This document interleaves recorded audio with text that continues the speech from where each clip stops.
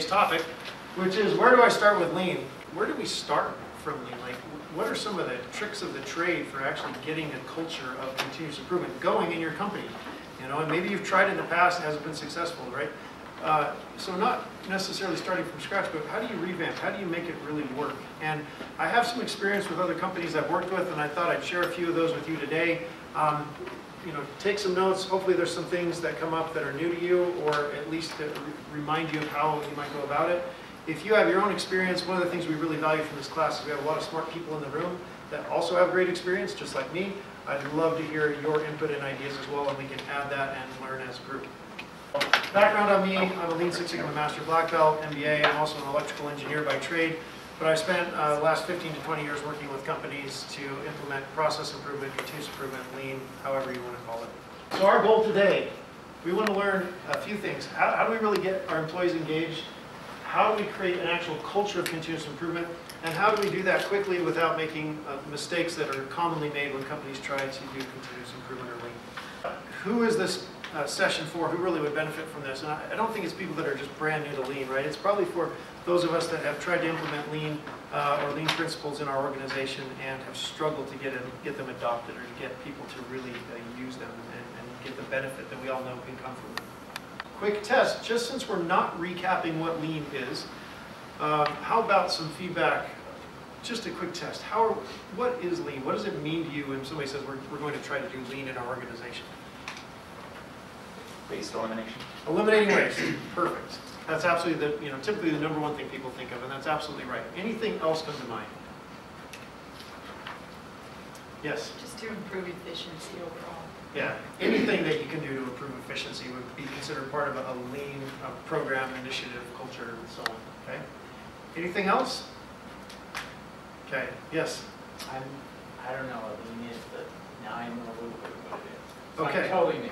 Totally new. Awesome. Okay, this is great because a lot of times we have people that have come in, they've got a lot of background, so I'll touch, I'll make sure and touch base on a little bit of what lean actually is and, and kind of bring you in as much as I can. Perfect. Um, I don't know if it, this, this really summarizes what you just said, right? This is, this is really what lean's all about. It's just fixing problems, right? And it's fixing problems and, and taking the time to fix them. A lot of times we just get so busy, it's like, oh my gosh, we, we don't have time to do anything strategic. We're just firefighting. Um, but if we don't, then it's, it's, pretty obvious looking at this like, oh, well, if they just stop and make things, improve the process, then they wouldn't be working so hard. And that's really the struggle. Jim says value-added activities. Value-add activities, yes, Jim, thank you. Yeah, value-add activities. So in other, exchanging the work we do that is uh, not value-add or the waste and replacing it with value-add work. And value-add is determined by who, Jim? Who gets to decide that? I'm going to answer a question, see how fast you can type me back. so typically, value add is in the eyes of the customer, right? So whoever we're serving. Yeah, I knew he would. I knew he had the answer. So we're going to do value add in the eyes of the customer. So when you look at lean fundamentally, it consists of three parts here. And sorry, what's your name? Darren. Darren. So Darren, so Darren's brand new to lean. We're explaining the, the basic elements of lean, there's these three components. One is eliminating waste from all of your business processes. The second one is eliminating variation, right? Any variation to your processes, which causes waste. And then the third one that lean is, is very much focused on is overburdening the employees, or rather not overburdening, overburdening your employees. So you want your employees' jobs to be easy. You want the work to come naturally and simply. So if you take those three things and focus on your business in those three areas, then you're basically implementing lean, right? However you want to call it. So ultimately it is about this though. We're in business to make money, every one of us, right? So if we're in business to make money, everything we do should drive toward that end goal, right? But it's not just making money, it's how we do it. How do we go about it? So when starting lean in an organization, we can use one of the lean tools, which is the Deming cycle or the continuous improvement cycle of plan, do, check, act. It's a very simple four-step methodology that you can use to plan virtually anything and get it done. So the first step in this is going to be the plan phase.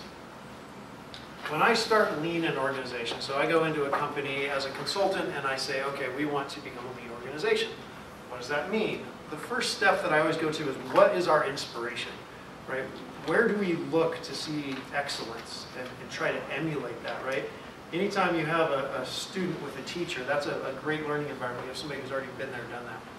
This is an example of the Volkswagen Transparent Factory, and this is over in Germany, and it's a gorgeous factory.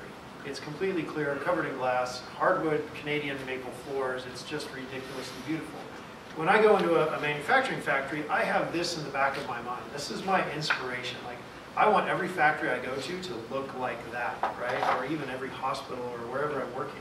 This is my inspiration. So, step one when you get started with lean, go get inspired, right? So here in Utah, we have some Shingo Prize winning companies. Shingo Prize is a, a globally recognized award for operational excellence. Autoliv, OC Tanner, US Synthetic, these are companies that we can tour here in Utah to go see what excellence looks like, and they're fantastic. But if you have other companies in your area that you know are just good, right? They're just good at what you do. So for example, we also have Bullfrog Spas, we have IM Flash right up the road. These are companies that are also amazing companies to go and tour, right? So once we know what good looks like, right, then what do we do? Step number two. We've got to come up with an objective, something we want to accomplish. We've seen the vision, right? So you guys know what SMART goals are, right? I'm not going to hash that out. You know what BHAGs are, right? You know, Big, big, hairy, audacious goals. big hairy audacious. I don't know what smart means, though. Okay, who wants to give them the SMART Other definition? than the English. There's probably five different acronyms for it out there. Who wants to rattle it off? Specific, Measurable. measurable, Attainable. attainable, achievable. For our realistic, I always think realistic and attainable are the same thing, so I always change realistic to relevant to our strategy. Is this goal relevant to what we're trying to accomplish? So that's my version of a SMART goal. And then T is for time bound, so you've got to have it done, right? So I took those two together and I'm making up my own term here, introducing it to you guys. It's brand new today. You guys are the first ones to hear about it. The UMG, just basically a simplified version of both of those together, which is we have to come up with an unachievable and measurable goal that um, I'm. This is going to go viral. It's going to go crazy. Hashtag UMG. Okay? Why, why do we need an unachievable goal? Well, because you have to do something that is so hard that you can't do it doing things the way you do it today. You want people to have this response when you come up with this goal. There is no way we can do this. Right? There's no way. Which is great because your response to that should be what? When someone says there's no way we can do this. One bit.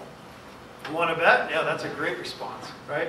Well, I was just gonna say that movie First Man that just, uh, it just went into theaters about getting to the moon. Yeah. And this, that was exactly this. There was no way, we couldn't even get things to stay up in orbit, and they had, yeah, and it, they just said, this is this one huge problem that's gonna force us to solve a bunch of little problems along the way.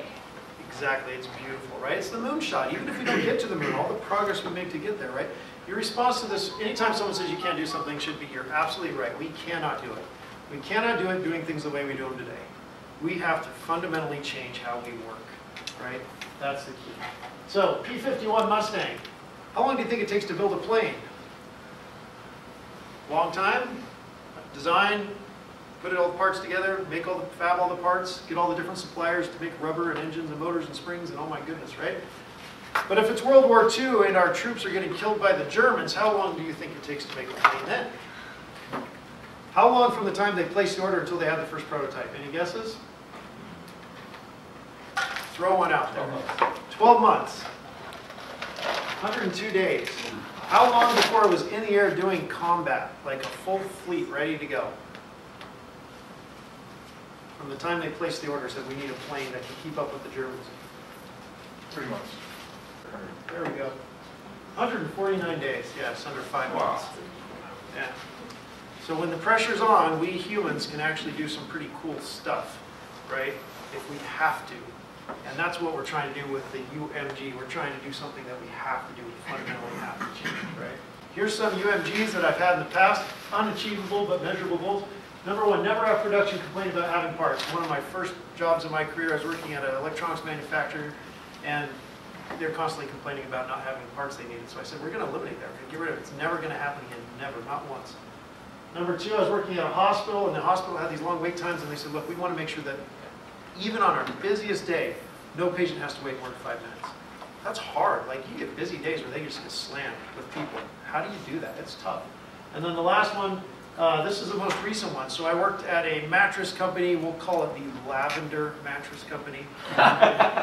And uh, the Lavender Mattress Company said, when when we walked in there, I mean, the place was a mess. There was machines all over and just, there was no flow.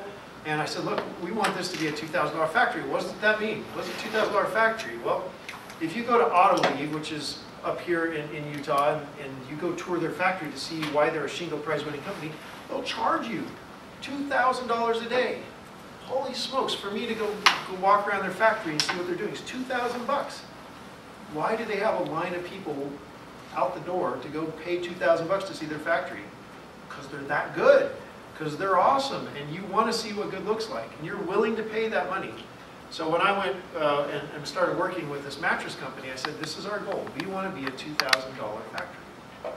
So that's what I'm going to use to go through the rest of this. So there's, there's a destination where we want to be, which is our UMG, but there's also a style, right? How do we want to get there? We can get there by being top-down dictatorial managers and make everyone hate us and leave, or we can go on a better path, right? We can go on a path where we bring everyone with us and we succeed as a team, right?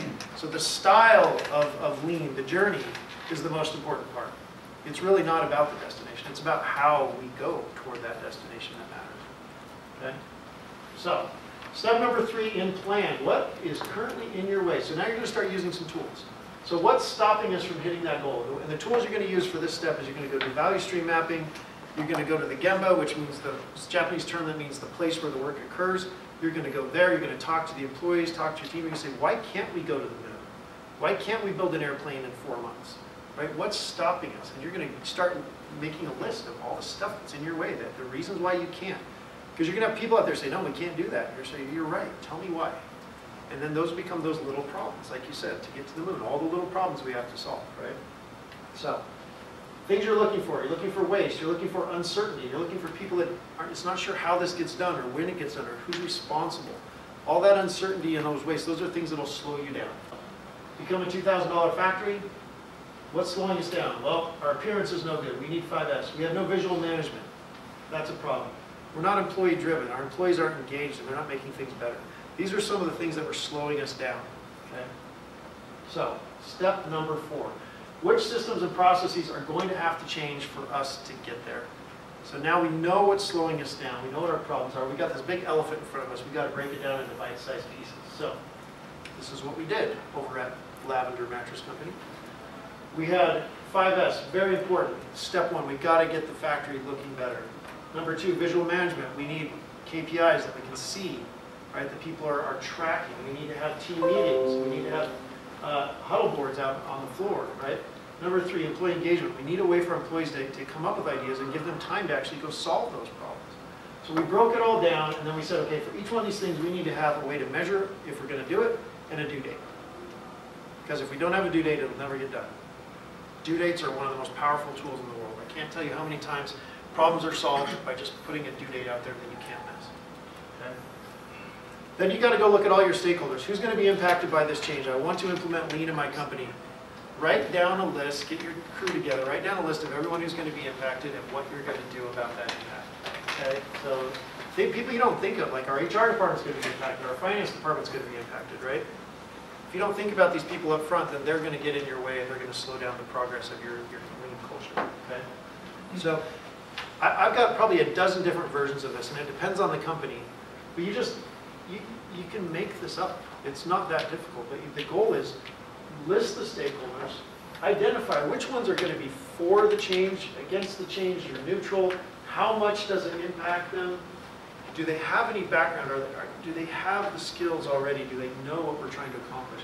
And then use some sort of a matrix like this to determine how you're going to communicate with that stakeholder, how you're going to bring them in so that they're on board on the journey. Remember, we're going down this road, we're on a lean journey. We want, we've got this, you know, Mercedes Benz, it's beautiful inside, but we've got to get people on it or we can't drive down the road, right? We're just leaving them behind. Okay? Finally, step number five. Okay? Finalize your plan. So we took the things that we wanted to accomplish, visual management, 5S, Kaizen, standard work, and we broke those down into measurable, step-by-step items that we wanted to execute on. So we just, we created a plan, and that's what the planning stage is all about. This was our plan. We have owners, we have due dates, right? And we have a status update. Are we making progress? Are we getting closer to the moon? And you can have a way to measure it. So if you've got your, your things you want to improve, you can measure, how are we doing? Are we progressing, right? Show your results. Make that visual so people can see it. Okay, that's the planning phase. Questions on that? Does that make sense? Have any of you created a plan for your continuous improvement efforts? Kind of laid it out there and then communicated? If you haven't, then you're running ad hoc, which means you're maybe doing a lot of lean activities, but you don't have a bigger picture that you're striving for, which means you, you probably won't get to the moon if you don't know that that's where you're trying to get, right? You might do a lot of good things, but you may not be moving the ball forward. Okay. I'm, one Yeah, quick question, sorry. Um, I, I'm kind of with Darren, I'm, you know, this is new to me. So wh- what is a 5S? Okay, 5S is a- Obviously, way, something to do with appearance, but. it- it's workplace organization. Ah, So basically, if there's a place for everything, everything's in its place. It's easy to find, easy to do your work, it's visual, right? Now, 5S is an acronym that stands for sort, set in order, shine, standardize, and sustain. Except those are all in Japanese, which I can't say. So, yeah, the five steps of 5S are basically a way to get your workplace to be efficient look great. Look like that transparent factory that I showed on the first slide. Yeah. Yeah. Yeah. All right, so the end of the planning stage, we have inspiration, a UMG, a list of obstacles, a list of broken processes that we're going to go change, and then you're going to take those and flip them into a plan. Okay, that's your, that's your planning step. Now we're going to go into do.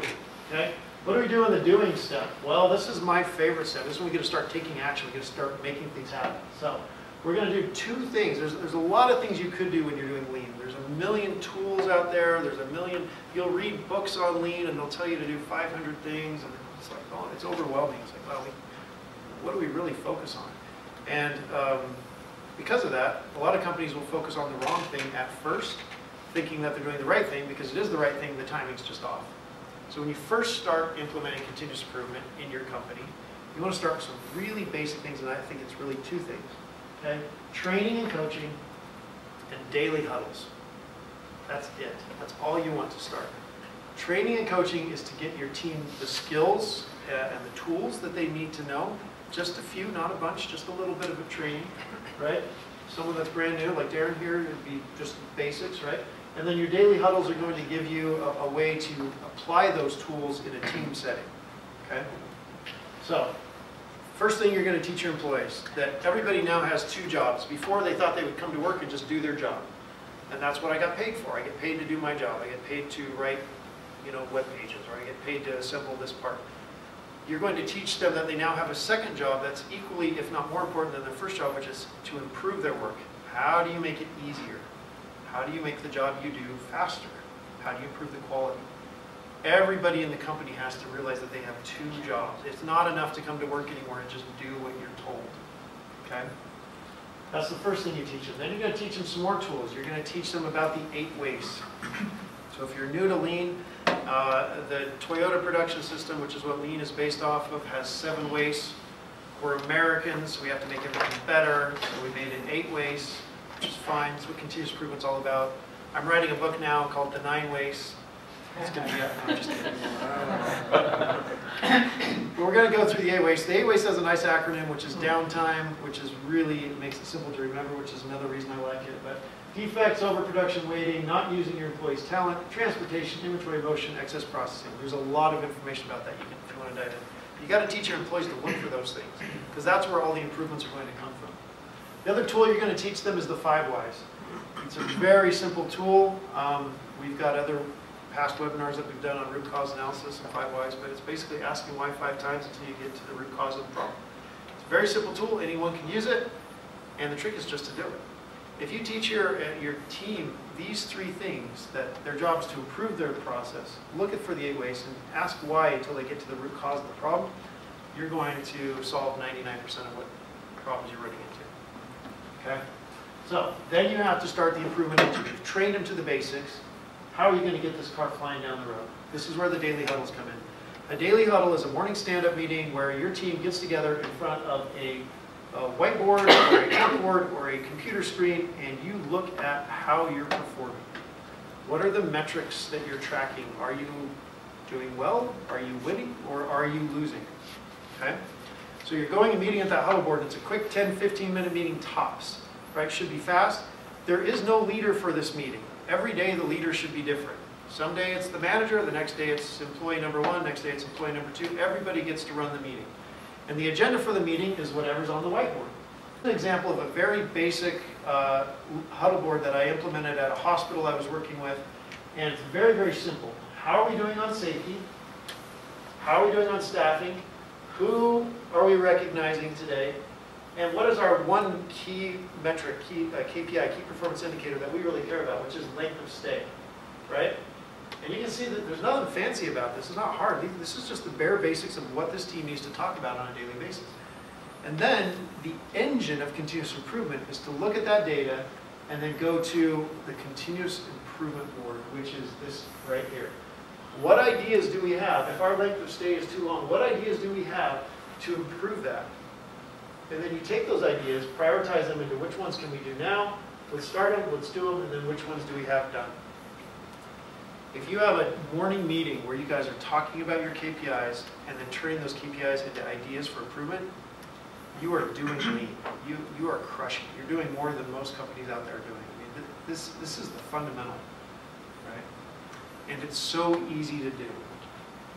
And when your employees, if you're asking them for uh, ideas, this is a great little book. Uh, it's called Two Second Lean by this uh, crazy guy right here.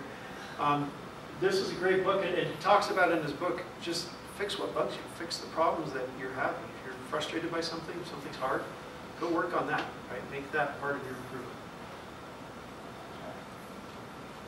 There's another example of how you can do that same, same board.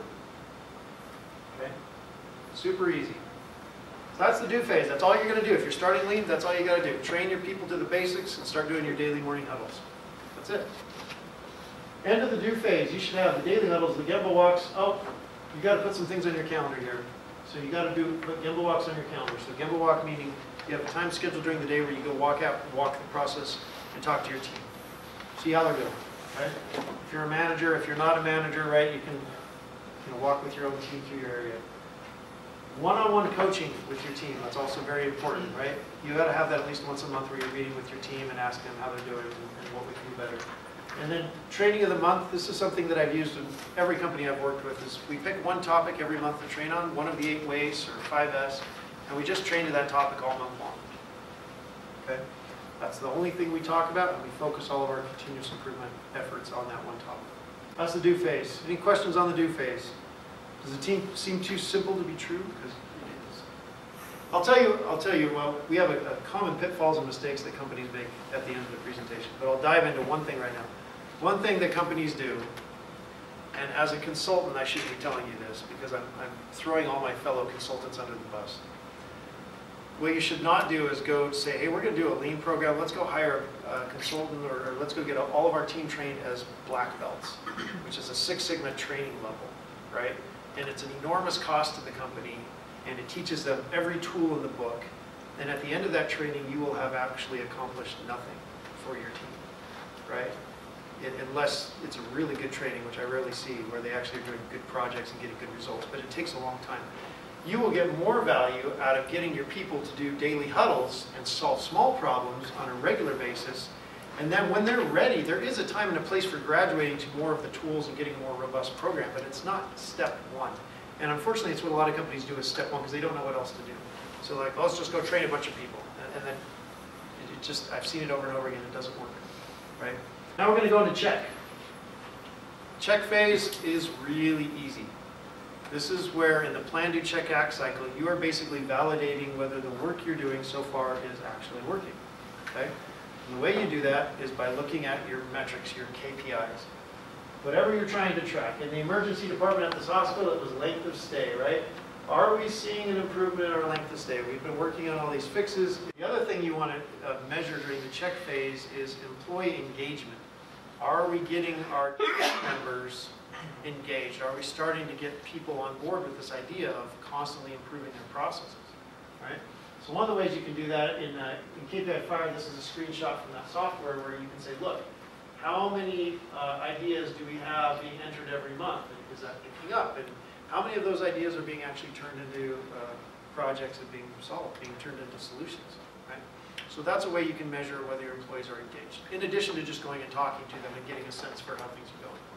That's always the right answer, go talk to your people. Yes? Travis one thing we had to do when we did the green belt training actually had to run a Kaizen for bank-based project.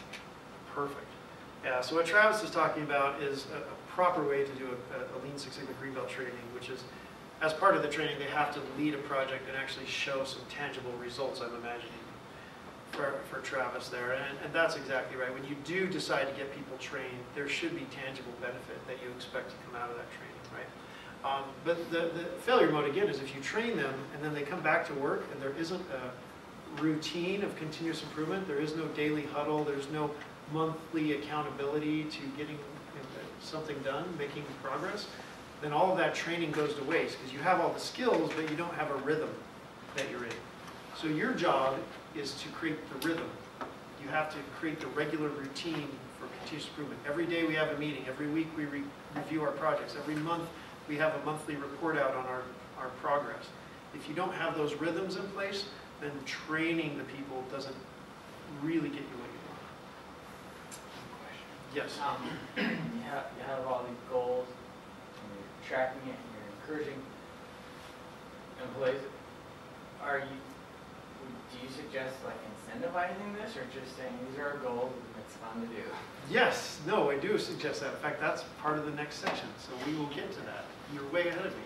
Yeah, absolutely. So you do have to, uh, what we call pour some fuel on the fire if it's working. So we'll, we'll do that. So end of the do stage, review your KPIs weekly, review your engagement weekly, so at least once a week you're checking in on your progress. It's that simple, right?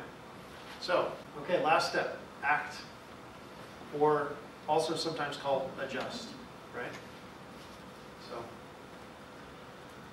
It's working, it's working, I think that's from a Star Wars movie. If, if you've got something that's working, like you said, uh, great, right? We're seeing improvement, employees are getting engaged.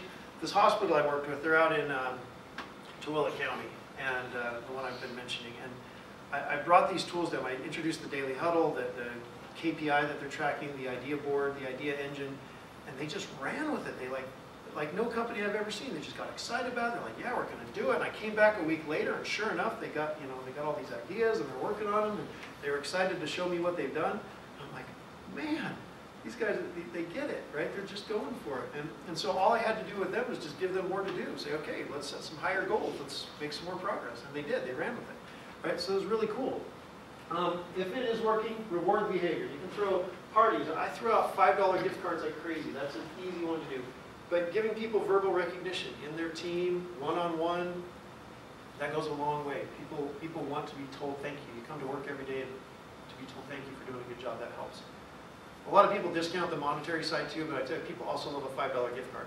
You know what's funny is doctors make a lot of money, but you will never see more competition than when you offer a doctor a $5 Starbucks gift card if they can accomplish something. They will fight each other for it. They, they will go to great lengths to be the winner of that $5 Starbucks gift card. So don't discount that. It, it matters, right? You can add more areas to your continuous improvement system if some of the areas are going well, and you can promote the wins through the organization through email, phone calls, presentations, right?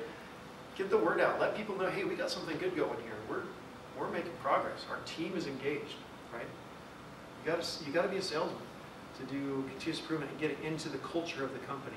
You have to consistently sell, um, and there's nothing wrong with selling. Right? There's nothing wrong. A lot of us, especially if you're in, you know, the production environments and, and you're kind of a, you know, middle manager type people, we're not usually the ones to boast. We're not the kind of people to raise our hands and say, look what we did over here. It's amazing, right? That's not our style, and it's hard. It's something that you kind of have to learn that it's okay and it's actually better for the company if you share all the good work you're doing because it gets other people excited. Or if they're the type of personality that's just competitive, they'll be like, oh, why are those guys doing more than we are? And then they're going to get excited and go, you know, try to meet you. Great, right? Whatever motivates them, that's awesome. But you can't, uh, you know, hide your light under a bushel, as it said. You've got to tell people about it, right? So, how do you form a habit? So this is the three R's of habit change by James Clear, and it says, one, there's got to be a reminder, which is what we call a trigger. Then there's got to be routine, which I talked about, and then there's got to be reward. This is how you form a habit. So what's your trigger? Your trigger is every time, every morning you have a daily huddle. That's, that's a trigger, and it turns into a routine. The trigger is anytime you miss your KPI. If you, if your length of stay or your manufacturing cycle time, whatever you're tracking, if you miss it, that's your trigger to take action. We gotta do something. Your routine is your daily huddle agenda where you're going through those metrics and you're going through the, the continuous improvement engine, right? And then the third step is the reward. You have to reinforce good behavior with your employees. If you fail to reward, why are they gonna continue to go through the routine? Right, unless you like dictate you have to do it because it's your job, and otherwise you don't have a job. And again, that's a style thing. We don't wanna go down the lean path with that style. It's just not cool, it's not fun. We wanna make it fun. Okay. If it's not working, Sandro, we tried it, we did our daily huddles, we taught everybody about 5S, they rejected it, they said they don't like it, and they want to go do Six Sigma and get black belt training. Um, Don't overreact, be patient, wait, see if you can uh, continue to reinforce the routine. You know, they say it takes 30 days to make a habit. I don't know if it's 30 days, 60 days, there's some number out there. 68 of statistics are made up on the spot. So it takes some amount of time to get your people into the routine. And you've got to do that long enough for it to stick, right? So stick with it, don't give up. If you still don't see results after couple months, right? Use the five whys. Why aren't we seeing results? What's going on? Are we fixing the pain of the team? Let me give you another example. At the uh, Lavender Mattress Company, I wanted to uh, make a pretty significant change to a process on the line. And I was going to go out and talk to the employees about that process and ask them to maybe help me make that change. Before I did that, I knew that they were going to rebel and not like it. I, I was positive of it, and I just knew they wouldn't. So instead what I did is I went out and I talked to those employees and I said, hey, what is bugging you about this line? And you know what they told me? Every day I show up and my scissors are missing. My scissors are never there. They're always gone. The other shift walks off with my scissors. My scissors gone. My tape measure's gone. I don't have my gloves. Said, great. Let's fix that problem. So we made, got a little cardboard thing, and we put some scissors in the cardboard thing, so they had a standard place for the scissors, a standard place for the tape measure, and everybody got trained on how to leave the stuff where it's at, not go home with it at night, you know? And we fixed that problem for us, so when they walked into work, they had their scissors, right, which is what they wanted. And then, I went back and asked them for the other change, and you know what? They didn't say a word, they're like, oh yeah, we fixed the scissor problem, that was easy, what do you want us to do next? Great, let's, let's go do that. I won them over because I solved the problem they wanted to solve first, and then I could help solve the bigger picture problem. That's a fantastic technique you can use to trick your employees. Okay, go help them first. It's crazy. It's called service leadership, and if you don't know what service leadership is, it's a fantastic way to trick your employees by caring about them. It's terrible, Heather. It's absolutely terrible. Okay. Watch for detractors. There's going to be people that don't want to change or struggle with it. You've got to meet with them one-on-one and then immediately fire them. You, know? You want to meet with them one-on-one and find out why. These, these people, honestly, you can turn these people.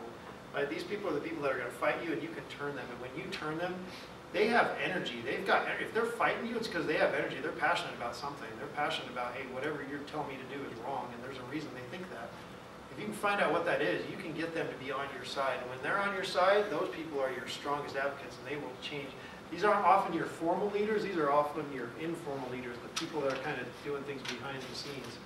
Um, find out who those people are, and meet with them, get them on your side. Um, end of the act stage, we should have a reward and recognition program going on to reinforce the positive behaviors.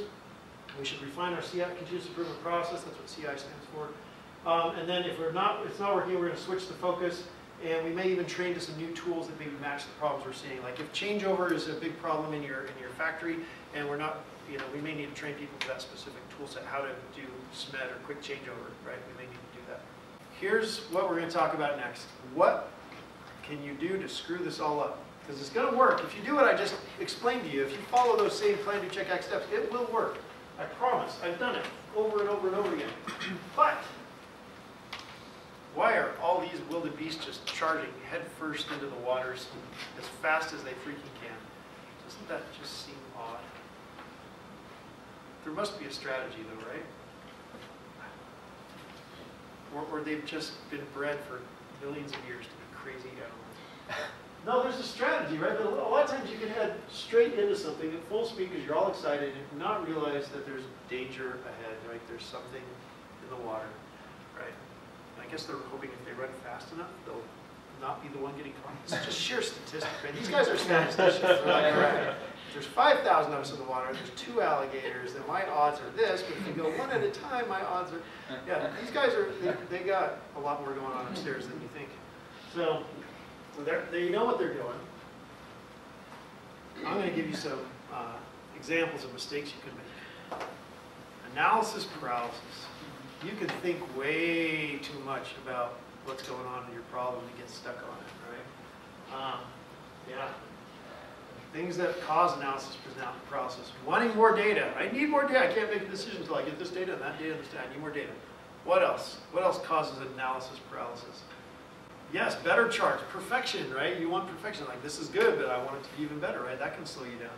I own a software company, so believe me, I know all about that. I'm like, it really hurts. Sometimes you have to release a, a feature that is not like as perfect as you want it, but you, you know, it's going to take three more months and customers are waiting and it's like, it, it's painful. But if you don't act, it's more painful. Travis says that's what, that was me during my Greenbelt project, to don't let perfection keep you from very good. Thank you, Travis. Don't let perfection keep you from very good. That's excellent. All right. So, uh, wanting more options. Hey, give me more options. You know, I've got, you know, you come to the boss, you say, hey, we got these two options. I need more options. I, I had a boss that, that was like a favorite tagline of his. Right? These are all quotes from. Uh, give me more options. Uh, worried it wouldn't work. There's a lot of people that are afraid of screwing stuff up. Let me tell you what. You can change a process. And I can promise you, it will not be perfect. Unless you are God and you have decided that this, this is the way to do it, it will be wrong. It will not be perfect. Who cares? Even if you fail, right? What did Edison teach us, right? Or Tesla, if you want to really argue about who invented the light bulb. Yeah. And let's be serious. we all know Edison was just a businessman and Tesla invented it. So when, when he invented the light bulb, right, he made a lot of mistakes, right? Um, but he learned from everyone. So that's a, it's a learning experience. Um, I'm worried other people will criticize what I'm doing. My answer to that is the Done Manifesto. If you haven't read the Done Manifesto, go find it. And it basically says, you know, those that are, have dirty hands and doing the work are right. So you can respond to people and say, I like the way I'm doing it a lot better than I like the way you're not doing it. So, um, says lean is small changes for the better. There we go. Lean is small changes for the better. Let me tell you about uh, what my experience with uh, the mattress company, and we had to relay out a line. We spent months with weekly meetings to go from this to that. Painful, yes. Why? We need more options. Give me more data. I, I need more. It's not perfect. Lots of reasons. The minute we, we put those two lines together, we saved thousands and thousands of dollars. And we could have been saving that for months ahead of time, but there was analysis paralysis. Okay? So, overcoming the ability to act. What stops our actions? Things we just talked about. What can we do about it? Get our data quickly. Gather data, use that data to go with it. Pick the best option. Just pick one and run, right? You can learn. Um, remember, the doers are always right. And also remember that doers are always right. The Deming cycle, uh, the act and do parts, these are action steps. Half of this Deming cycle is action, not planning. Okay? So remember that. Remember to do action. Okay. Mistake number two. I need top level support to implement lean at my company. And we're just not successful because darn it, my senior managers and my CEO, they just don't get it. Don't get it. let me tell you guys, I have worked for a lot of CEOs that don't get it. And I've worked, worked for vice presidents of operations, and they don't get it. So what? Are they stopping you from doing what you know to do? Are they stopping you from having a daily huddle? Are they stopping you from getting ideas from your team and making those changes? Are they really physically stopping you? Because if they're not, that is not an excuse. Who cares? Go do it without them the Best Buy employees, I don't know when this was, 10 years ago, I don't remember when the story was, I'm dating myself a little bit, but they wanted to work from home. And instead of asking permission, they thought, you know, we're not productive driving to work every day. Everything we do is on our computer by ourselves. So they had this customer service team and they decided, oh, we're just going to start working from home. And they did. and uh, they were working from their cabin up in the woods, and they were working all over. And then this became a thing, and all of a sudden, all these people were doing it, and they were way more productive. All their metrics went up. And by the time the senior management found out, it was too late to do anything about it. So they publicized it like it was a win, and they thought of it. So I'd suggest doing that for lean. Just go do it, and then when you prove how amazing successful it is, then your managers will take credit for it, and it'll be fine. It'll. Okay. Tool focus. What's the purpose of creating a culture of lean? Ah, basically just to make money. That's what we're in the process of doing here, kids. So um, we can spend months value stream mapping. That's not going to make us any money. We can spend months creating control charts doing Six Sigma. Well, that's not going to make us any money. Does that mean these things are bad? I mean we shouldn't do them? Oh, we should. We should do them, but we should do them fast. We should do them lean, right? Months training black belts. Eh. What can we do? We can fix problems and make money with short-term goals. Okay, really quick. Like Travis said, small wins, small little kaizens. Okay. Um, I went to Rwanda, and if you've been to one of my webinars, you know I talk about it a lot because I love Rwanda. It's my favorite place in the world. If you're going to go on one vacation in the year in your life, go to Rwanda. It is there's no place on earth that's that's more amazing. Um, and I've been a lot of places. They had a genocide in 1994, and uh, 800,000 people. So those two things don't go together in my world. I'm sorry. I know, and- but this is why people remember. But if you want to talk about having a big problem, they've got a big problem. They had a massive slaughter in their country where two tribes of people that weren't even two tribes until the French told them they were two tribes went and started killing each other and, and massive destruction. It was amazing. How do you overcome that as a country when your neighbor killed your dad?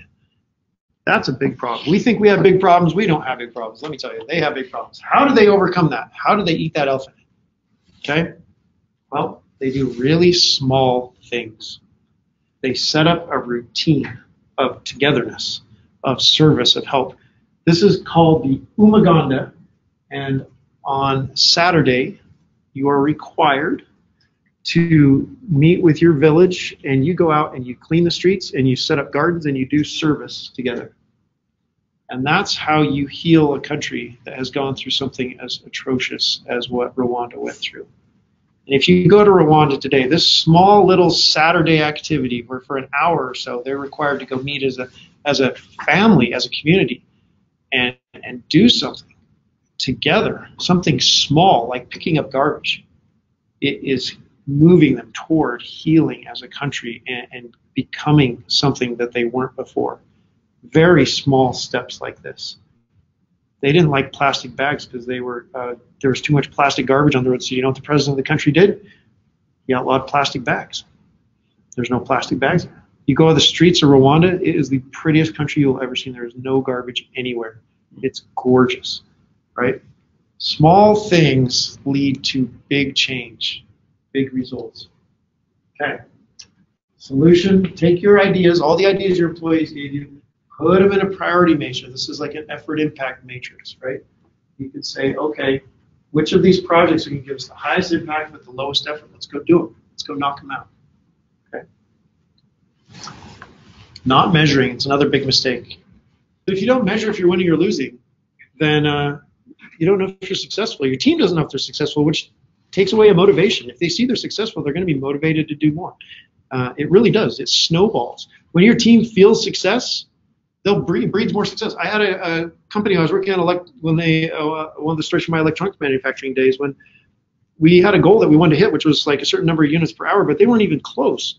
So we set the goal to what they could do, which was like 40 units an hour. And you know what? They could hit that goal, and they got used to hitting that goal. and It was great. So then we lowered it, and then we lowered it some more, and they just got used to winning. And pretty soon they won all the time until we got to the point where we were hitting the goal we wanted, and they were hitting the goal, and, and everyone was happy because they got used to winning. You got to know what winning means. Okay? Not rewarding. To your point, we got to reward. We've got to give people gift cards. We've got to tell them thank you. We, if we don't actually encourage the behavior, then there's no incentive to do the behavior, right? You can try threatening them. You know, you can try the carrot and the stick, right? The carrot's more fun. I would use the carrot. Okay. All right. That's it. Those are the top five mistakes. So uh, that's it. That, that's the whole presentation for today. And remember, it's about the journey. It's about how we get there. It's about the style of where we're going. not just uh, the destination.